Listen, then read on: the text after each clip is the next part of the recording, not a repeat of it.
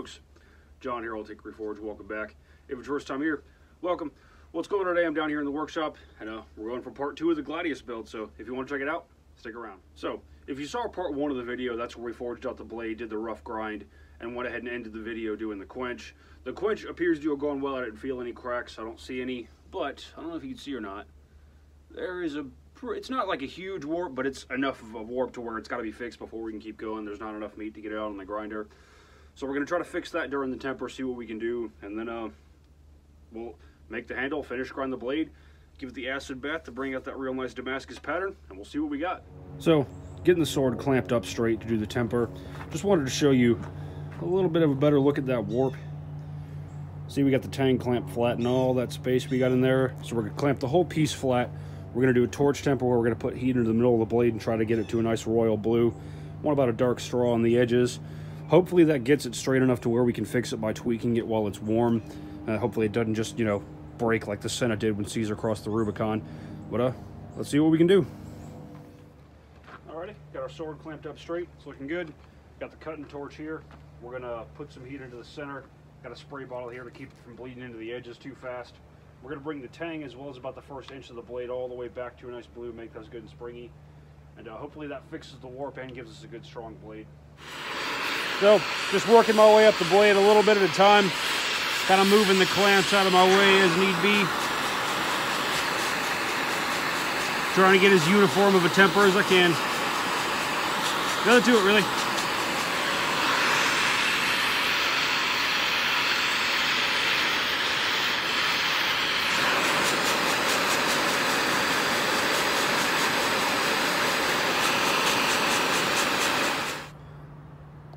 So here we are to the first temper cycle.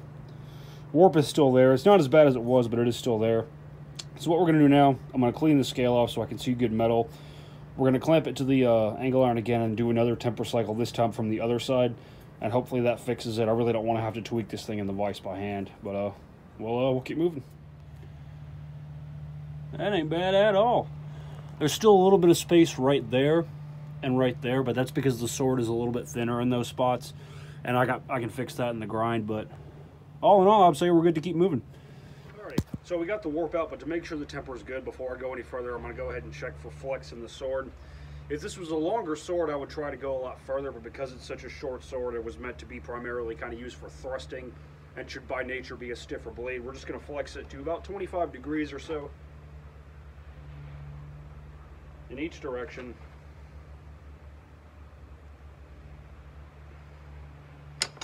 should spring back to true. And without taking any set so uh, we're good to keep moving. So real quick I'm just checking the sword with uh, the Rockwell testing files to see where we are as far as Rockwell hardness. We got a 55 HRC right here. Skates over the edge. And it bites in the middle of the sword. Here we got a 50 skates in the middle of the sword. So I put the core of the sword somewhere around like 51 52 Rockwell and the edge somewhere around 56.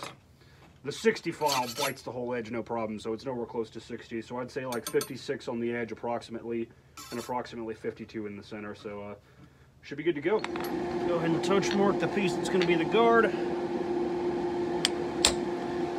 Perfect. Alrighty, got the blade seated into the guard. It's actually on there backwards, so it's not sitting where it's actually going to be. That's why it looks kind of wonky. But that's fine for what I need. I just wanted to get the profile I want to make for the guard itself marked out. I figured I'd go ahead and tell you why it is I'm not going to etch this wrought iron. Now, there were different grades of wrought iron that were available to smiths back in the day. The more refined it is, the less interesting the grain pattern is, and this stuff here is really, really refined. There's very little grain when it's acid etched. Also, I kind of like that aged texture in there, and also I don't want anything to draw the eye away from the finished Damascus on the blade. So we're just going to leave black oxide on the fittings. So after uh, after they're ground to shape, we'll throw them back in the forge, stick them in some linseed oil to uh, to blacken them again, and that's how they'll look. I just wanted to, uh, you know, people were probably going to wonder why I didn't etch the wrought iron, but that's why. So let's keep moving.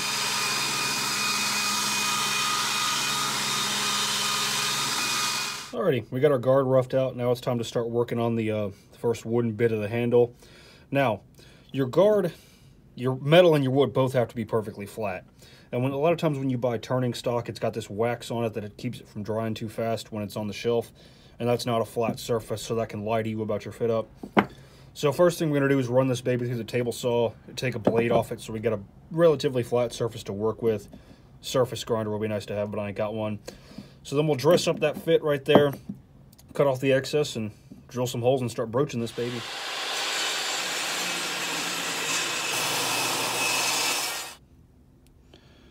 I was hoping that would make the guard fit up look better, but now it actually looks worse. so we're going to go through, keep working on sanding this thing flat until we get a nice fit, and uh, we'll go from there. That ain't terrible. Alrighty, going ahead and marked out where we need to get our holes drilled, and then we'll go through with a tool called a broach, and uh, you know get that uh, get that material hogged out, get it fitting on the tang of the sword real nice. If you don't have one of these, get one. They're freaking amazing.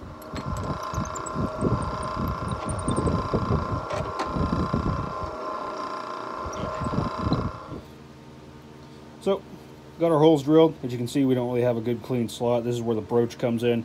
You just stick that baby in there and pull it towards you and it'll cut the material out of there. It's pretty cool how fast it actually works. It's just as fast as doing a burn-in and you end up with a much cleaner, nicer slot. So I'm pretty happy with this thing. Said, you just stick that baby in there and pull it towards you. To it, really. See? Got a real nice slot in there. That took maybe 10 minutes. Uh, if you want to get one of those broaches, check out Texas Farrier Supply. They're not paying me or anything. I just wish I'd had one of those years ago, and I want to save you guys the trouble. But uh, we'll get the guard on, put that block of wood on, shape them out together so the edges fit together real nice, and uh, we'll keep working our way down. So, before I go any further, I think I'm actually going to go ahead and make the middle piece of the handle. We're going to be using uh, a piece of ebony for that. We're going to go through with the miter saw, cut one end off so it's nice and square, cut out four inches. I wanted to fit the hand nice and snug and we'll get that shaped out and where it needs to be before we start messing with this because the ends of that have to mate up with that and if I take too much material off this right now there's not going to be any way to fix it. The pommel, I got another piece of padauk. I had a uh, friend of mine from the woodworking store turn it down on his lathe for me. That's going to be our pommel. We'll set our peen block over that, peen all that up and we'll have a sword. So we got the outline of our tang drawn onto our block. Same deal, we'll drill it out, broach it out till it fits. This is going to take a little longer because ebony's a tougher wood than padauk and because it's just a longer piece to work with. That's what's happening now.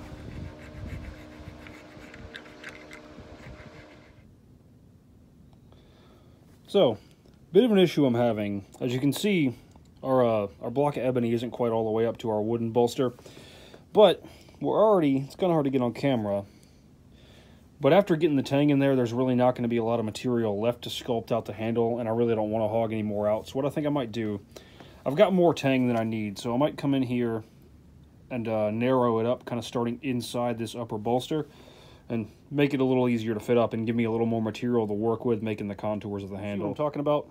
With, uh, with the way the tang is sitting now, we just don't have a lot of material on the top and bottom to make the finger grooves, so I, I don't want to really go any further.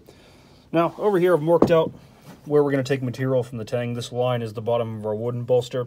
So we're just going to come in here, and uh, we don't got to take much, maybe an eighth of an inch total, and that should give us everything we need. So I took as much off the tang as I'm really willing to take. We still got space on the top as well as the bottom. So what that tells me is rather than having a straight channel in there, we kind of got an hourglass shape. So to fix it, we'll take an angle of the broach and kind of use the point of it to scrape the material from the middle of the channel out. It doesn't got far to go, so I'm just going to do a little bit on all four sides and check it and recheck it until it's where I want it.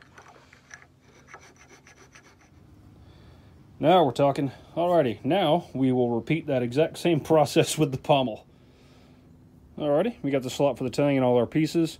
Now it's time to actually shape out the handle. So I've given myself some rough lines to work with. You know, nothing too crazy.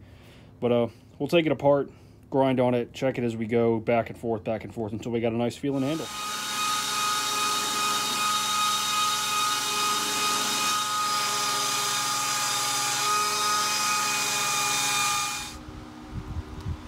Alrighty, that's about as far as I'm comfortable going on the grinder. We'll do the rest by hand. But uh, now it's time to finish grinding the blade.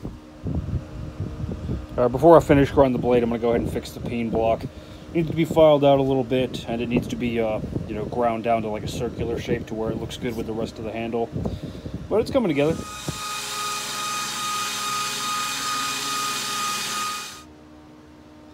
There we go. Now we can finish grind the blade. So this is a pretty challenging blade to grind. If we're going to go ahead and talk to you a little bit about what it is I'm doing I'm kind of having to work in sections you know. Because this blade is different widths all up and down you have to come at it at different angles to ensure a flat primary bevel. And we're just eyeballing the edge thickness as we go. I'll measure it when we get a little closer but around here we got what looks to be around 20 thousandths. And up here at the tip we probably got around 50 thousandths. So there's a good bit of material up here that needs to be removed. But that's all that's happening now. We got to bring that edge thickness down make everything flat get the medial ridge trued up. Uh, not a whole lot of material to remove then we'll take it up the grits get it ready for the acid bath.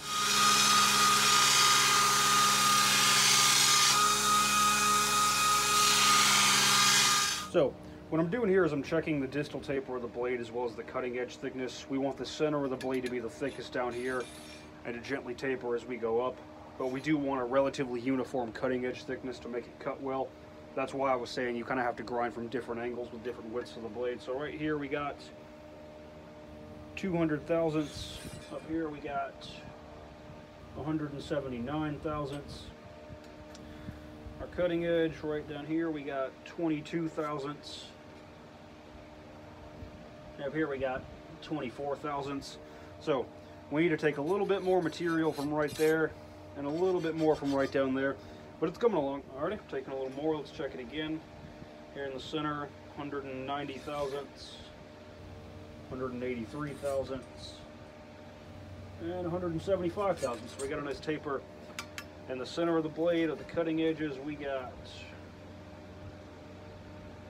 21 thousandths.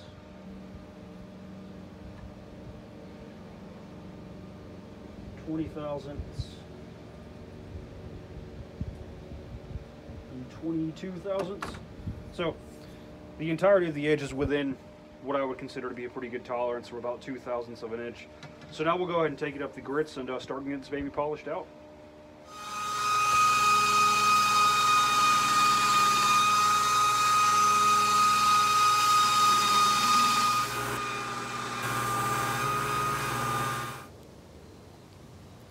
Alrighty, here we are after taking it to 220 and then a Scotch-Brite belt to get a nice satin. I can't resist, let's etch this thing. So, I'm a very happy man right now for two reasons. One, that pattern is beautiful. And two, if there were micro cracks that we couldn't see before, the acid bath is what will bring them out. So we're looking really, really good. We'll go a lot deeper for the final etch. That was only one 15 minute etching cycle. But uh, we'll keep moving. Freaking awesome. Alrighty, so now I got the uh, hilt of the sword mocked up. I got it held on there with a little clamp.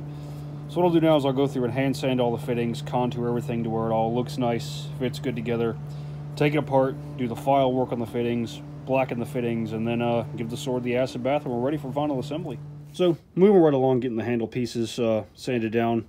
As you can see, those two aren't flush and we can't go any further because there's a cut mark, you know, exposed. If we keep sanding into that, we're going to basically expose the, uh, the slot inside the block. That won't do it all, so we're going to go ahead and we're going to remake this piece real quick. Alrighty. I spared you the pain of watching me remake the bolster, but it's done. Got the handle mocked up, it's looking good. So next thing, we'll do the file, the file work on the fittings, get the fittings darkened, and uh, keep moving. We're almost done with this thing.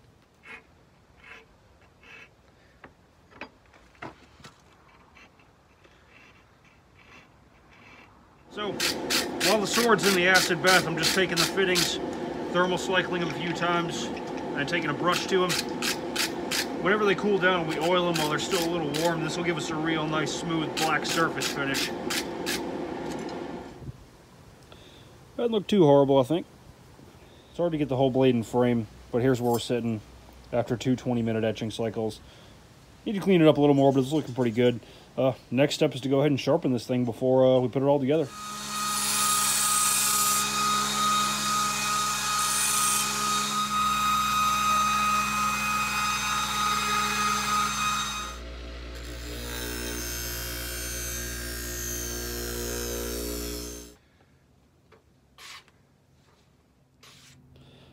So here we are doing a dry fit and making sure everything's going to fit together real nice before we uh, put any epoxy on it. Luckily, I happen to have a clamp big enough to put this entire sword in. So what I got here, scrap chunk of 2x4 with a 3 quarter inch hole. We're going to use that to apply pressure on the back. Got a piece of scrap wood super glued to the end of that clamp. And uh, basically we'll just fill, mix up a whole big batch of epoxy, put the pieces on one at a time, clamp it up, and then uh, go to lunch. Alrighty, got this baby clamped up. I didn't film the assembly because the grinder's in the way. I wouldn't have been able to get a good angle, but you get the gist of it. So I'm going to go get some lunch while that epoxy sets up. Whenever we get back, we'll cut the excess off the tang, peen it, clean all this crap off of here. This thing's near about done. It's looking real good. Alrighty, the epoxy's set up. Now it's time to peen the tang. Because the only uh, thing I've got to act as a heat sink is this little peen block right here. We can't heat this and peen it. It's got to be done cold. So I got this little tiny ball peen hammer, and we're just going to go out this for however long it takes us to peen this down.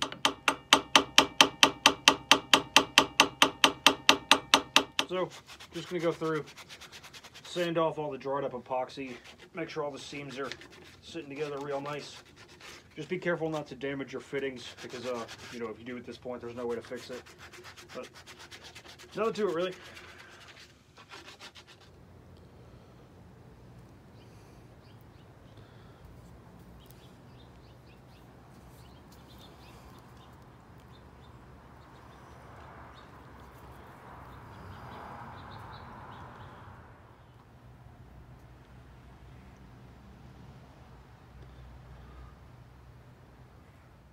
So how you like that?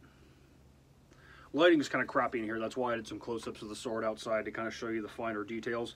But all in all, I'm really happy with the way it came out, especially for the third sword I've ever made. Blade's 21 and a half inches. Total length is 30 and a half inches. Weight is 2 pounds 3 ounces. Balance point is right there. So about 2 inches in front of the guard. So feels really, really good in the hand. I'm not going to do any cutting or testing with it or anything because this is not my sword. Let me explain. So if you've been around the channel, you know I like to do charity builds. It's been a while since I've gotten to do one because I've been so busy. That, paired with it being November here in the U.S. on November 11th, we celebrate Veterans Day. The rest of the world celebrates it as Armistice Day because it's the day World War I ended, but here in the U.S. it's Veterans Day. I was actually hoping to get this video done and uploaded then, but uh, their thing took a long time to make. But anyway, so this sword is going to be raffled off. We're going to do 100 slots, $10 a piece. I'll, there'll be a link to my PayPal in the description below. Send it friends and family so we don't have to take fees out of the donation money. Uh, I figure up the sword will bring in $1,000. We'll discount whatever it takes to ship it, take that away, and the rest is going to be donated to Mission 22. They're an organization dedicated to fighting veteran suicide, which is uh, it's a pretty big problem here in the U.S the most recent statistics available as of 2017 state that it's around 17 veterans a day take their own lives. So, you know, it's a personal subject for me, and it's a cause that's very dear to me personally. So, I just thought that'd be a good place for the money from the sword to go. So, uh, if you want to get in, just uh, click the PayPal link. Send me however much with how many slots you want. Like if you want five slots, send 50 bucks. There's no limit. And uh, whenever all 100 slots are full, we'll pick a winner at random live here on the channel. I'm going to mention this on the Facebook and Instagram as well, as well as keep the list of everybody who's in on the raffle updated. So there's that. So if you want to get in on the sword, you know what to do. You could win it for as little as 10 bucks. But that's all I got for you. If you like what you saw, like, share, subscribe, all that jazz. Always more cool stuff coming. There's links to the other social media if you want to follow me, links to the Etsy if you want to purchase any work, and links to the Patreon if you want to become a patron. Speaking of which, December's quarterly Patreon giveaway is coming up in a few weeks, so be looking out for that. But uh, that's all I got for you, and uh, y'all take care.